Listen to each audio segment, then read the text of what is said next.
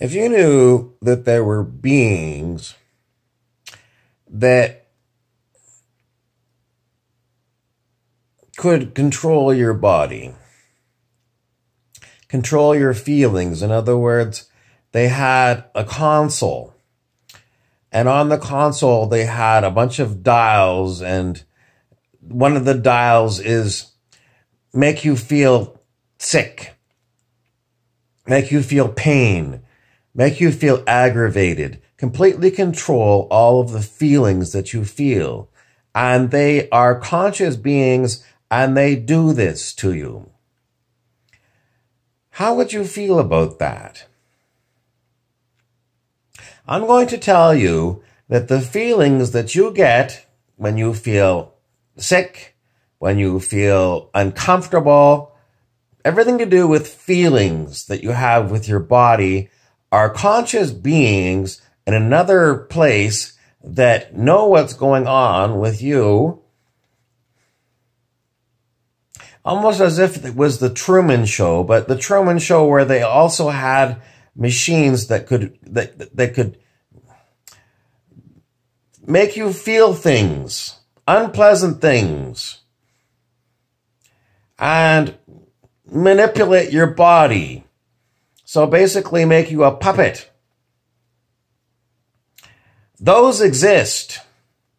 Those kind of beings exist. And, you know, knowing that they exist makes you very, very angry that you're manipulated by other beings. And yet you do not know where they are. You know how they do it. I just told you they've got some kind of technological ability to manipulate you, which means that your whole human life, your whole human scene that you think is just kind of random, you know, you wandering around and bumping into other people is not.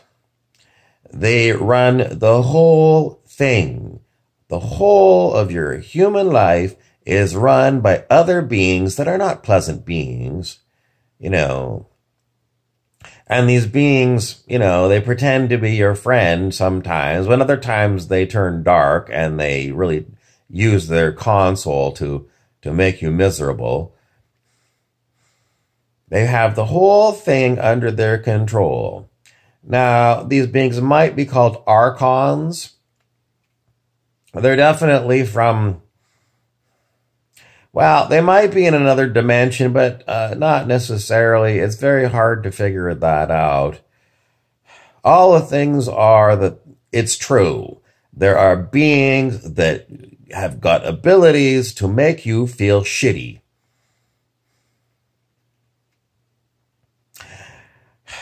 Some stories say that it's maybe spiritual powers but it may not be spiritual powers. It may be all technological. It's certainly something that could be done with advanced technology. And then to figure out that you are their pets and they're miserable creatures and they, they do things to you. You know, like when you, if you think of a child that falls down and hits its head on, you know, the corner of a coffee table, and then to learn that that child it wasn't just a random accident of it learning how to walk. Some being actually made it do that so that the child would cry and have a horrible headache. And, you know, and then you learn that a being does that. What would you feel about that kind of being? I'm not bullshitting. These things really do do these things to humans. And yet, cannot figure out where they are and how to stop them. Wouldn't you just hate those things? And then these, these things create things called religions. They create like the, the Jesus religion, which is all about forgiveness, forgiving your enemy. And you learn that they do this so that they're trying to get you not to hate them. But it's all manipulation and you know you think that your your great religion is all about forgiveness, forgiving the evil ones, so that they can go on and on and on. You know, it's almost like the mafia and the the Catholic Church. You know, the mafia uh, is a big supporter of, of Christianity because Christianity is all about forgiving people. Forgive them all because they don't know what they're doing. But it's not true. They know exactly what they're doing and they manipulate you. God knows how many lifetimes. And, you know, they create these religions that you're, that you're brainwashed into that this is the highest form of uh, consciousness is forgiving the ones that, that are evil to you. Is it really?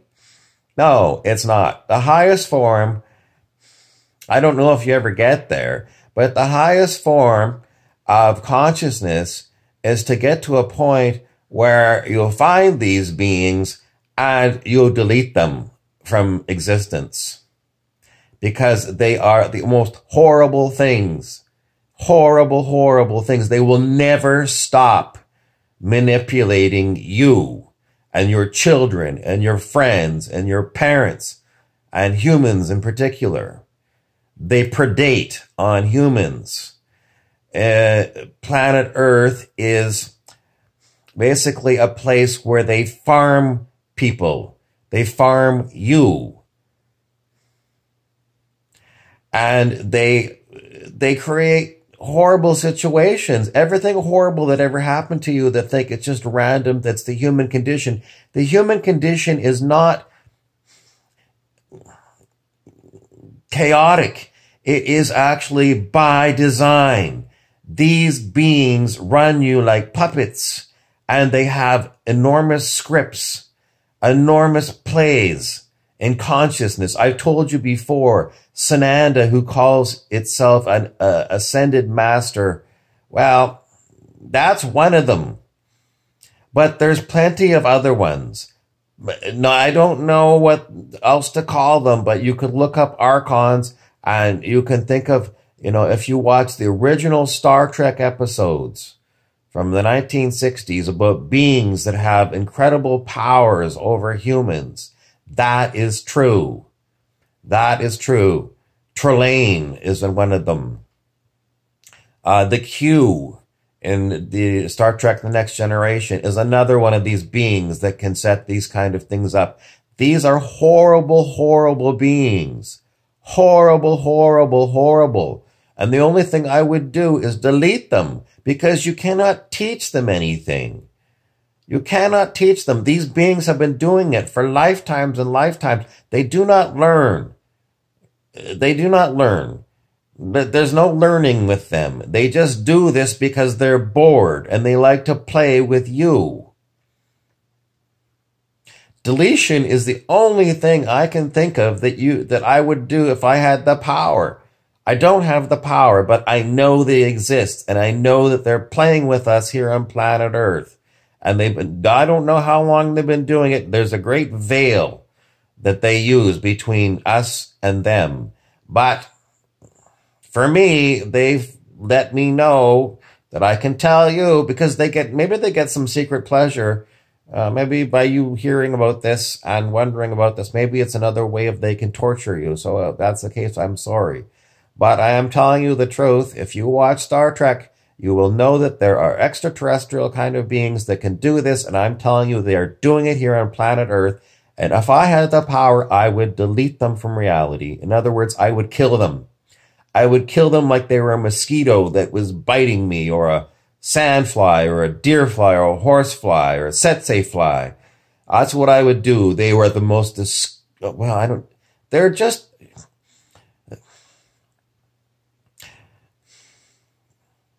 That's what they what need to be done, and and they laugh because they're you know they're behind this this, and you know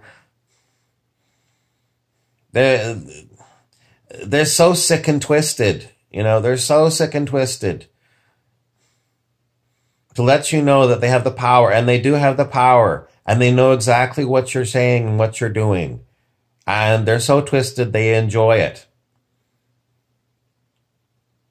If I could delete them, and kill them, I would, but I can't. All I can know is that they are there. You know, in Carlos Castaneda's books, they call them the predator. And strangely enough, in Castaneda's book, he says that humans basically are borrowing the mind of the predator. Our mind is basically borrowed from the predator. I do encourage you to read Carlos Castaneda's books. Uh, it gives you a different reality, a different view of reality. Uh, the people in Carlos Castaneda's world do not think in Christian terms. They do not think about things really in, well, good and evil is sort of like between the devil and a benevolent God fighting. They don't think of it that way so much, but they do think about, you know, predators and prey. And humans, unfortunately, in the world we live in, we are prey.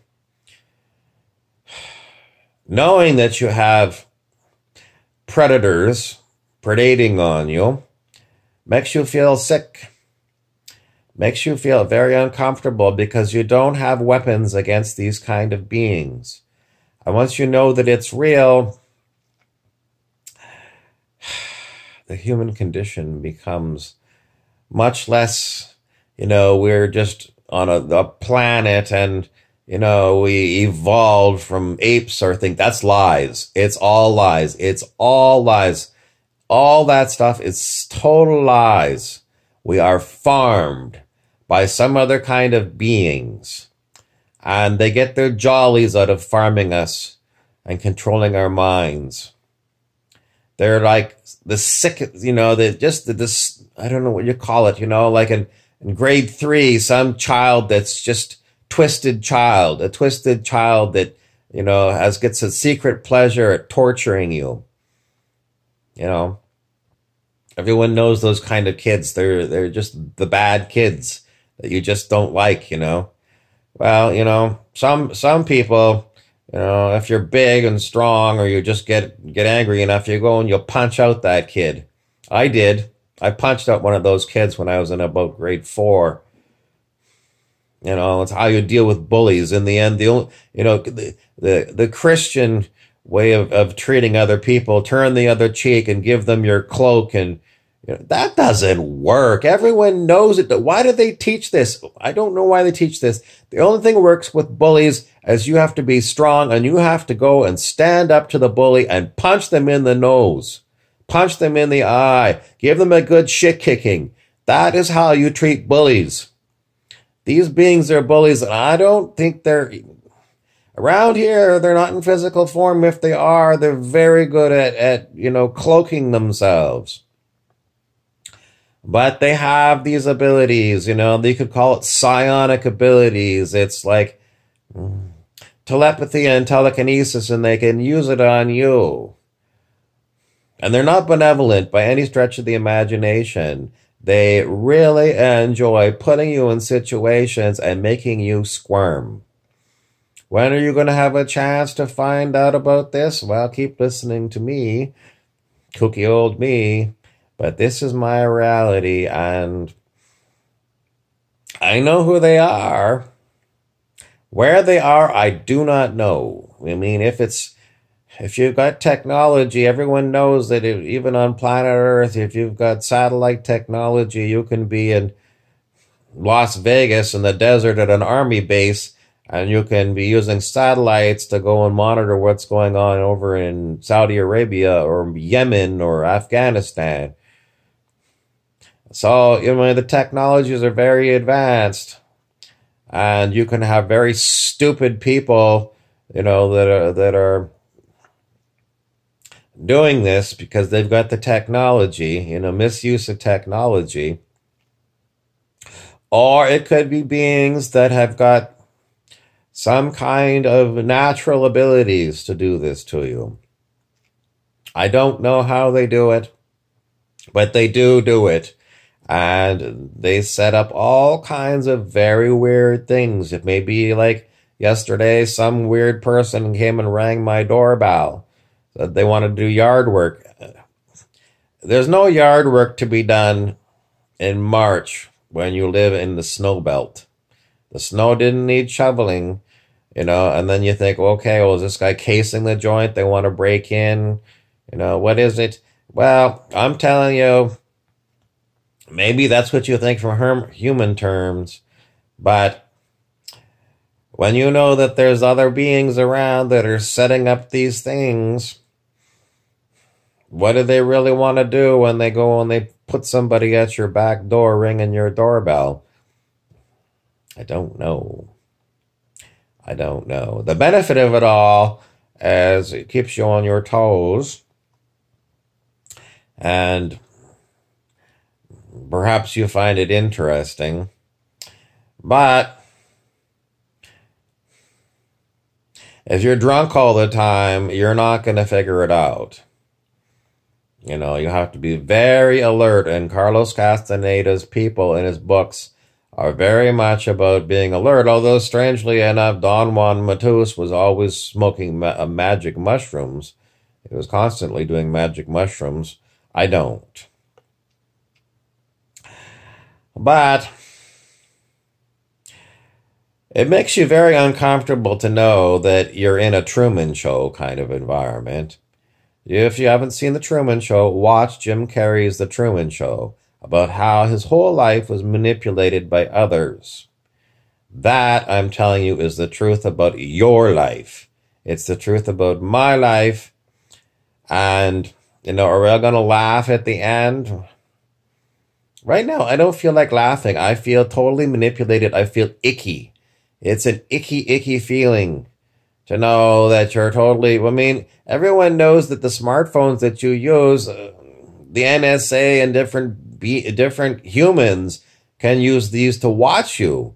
The smart TVs that you paid, you know, they got them on special because they're smart TV from Walmart or God knows where you got them, but it's sitting there and it's got cameras in there that's watching you. It's Big Brother. It's George Orwell and uh, they've got you all on tape, everything you've ever done. And it's beyond just camera work, you know, it's like they're right in your mind. So if you look up the Beast 666 computers on Biblia Caplades, it's a weird website. I can't pronounce it or can't say it. But look up Beast 666 computers, Pine Gap, Alaska, and Las Vegas, and try. And it almost gets back to the simulation theory, you know, that our bodies are actually simulated bodies created by some kind of advanced computers. And everything that goes on is run through advanced computers, and then they use various technologies to control your brain. You know, they send you some kind of holographic light that gets right into your brain and, you know, it teases your neurons into thought forms, you know, synthetic telepathy. it'll make you feel good? I hope it doesn't. I feel sick and icky. But it is the way it is, and these beings want you to know this. It's almost like the Illuminati when they go and they have these these really weird ceremonies in the halftime at the Super Bowl, Lady Gaga and whatever, and you know, they do the horned beast symbols, you know, like this or whatever, so that they let the people know right out in the open that they're real, or are they just actors acting like they're Illuminati? It's for you to decide, but if you look into this thing, you'll learn how sick these fucks are. Sick, sick, sick, six, six, six. Mm. I don't know. I don't know what else to tell you other than go on Netflix, watch the original Star Trek, uh, watch Star Trek The Next Generation episodes with the Q. Um, you they they played around with these ideas that there were beings that had abilities to uh, affect what humans could do. And the original Star Trek, there's an episode with Lieutenant Uhura and Captain Kirk. This was way back in the 1960s, mm, back when we had great race, race, great amounts of racism and Uh, it was the first interracial kiss on national television. And that was an episode when beings could control Captain Kirk and Lieutenant Uhura and force them to kiss. Uh, those things are true in my experience. What can you do about it? Well, I don't know. I don't know if there are extraterrestrials that are your allies that are going to come in and kick ass and take names. I don't know. Some people say the Pleiadians and the Arcturians are going to. I don't know. Maybe that's pie in the sky. Maybe it's all invented. It's all invented by the beings that control us. anyway, I'm very yawny. I'm Harry Weaver, your narrator.